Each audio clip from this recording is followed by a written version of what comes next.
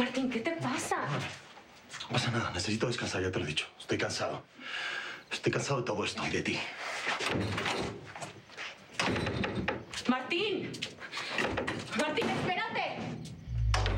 ¿Qué haces tú aquí? ¿Dónde está mi esposo? Ancillaga vio al patrón salir corriendo enojado.